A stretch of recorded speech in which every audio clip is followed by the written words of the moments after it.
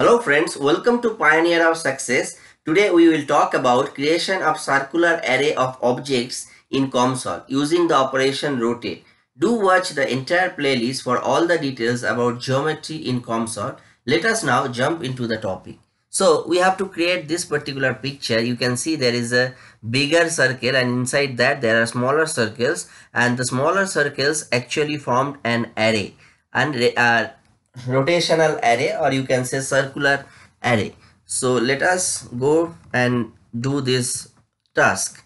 So initially we go to model wizard. As you know the geometry is 2d so we select 2d and go to the COMSOL interface.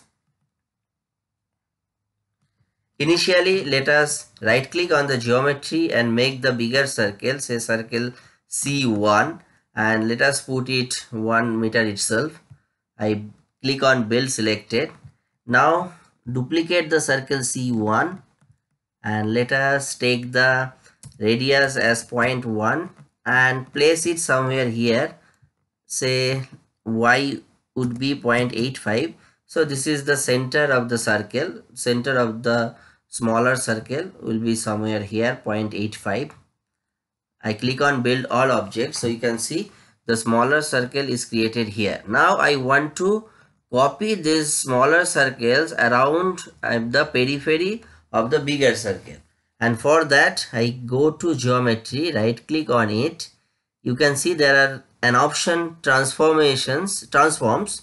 And under this you will get this rotate. Just click on rotate and we can do it. You can see there is an angle of rotation I click on range. Let us start with 0 degree. 0 degree means here the rotational 0 degree.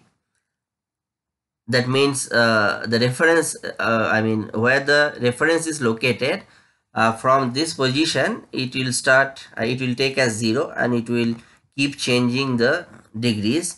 So let us make a step of 45 degree and go up to 360 degree and click on add uh, let us choose the geometry. We have to yeah. Not this one. We need to choose the smaller one and click on build all objects. So once you click on it you can see the array of smaller circles are created. Now the point is there is another option that is center of rotation. So this is very important.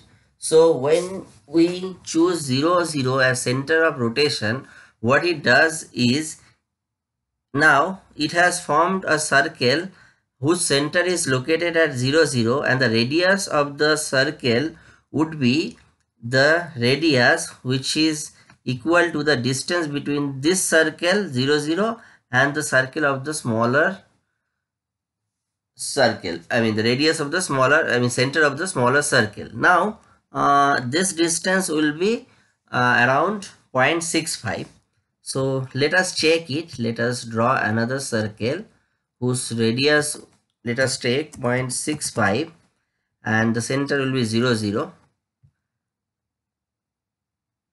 Uh, it is not 0.65 it will be 0.85 because yeah because the distance was 0.85 from 0 0 so once you take 0.85 you can see Around this circle, it has created multiple small circles. Now, if we want to change the number of small circles, let us keep it 22.5. So, it will double the number of circles. You can see uh, we can now create more circles.